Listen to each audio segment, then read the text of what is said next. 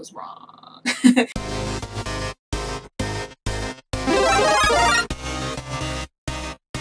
Hi everybody, this is Amaris of Little Nerdy AX.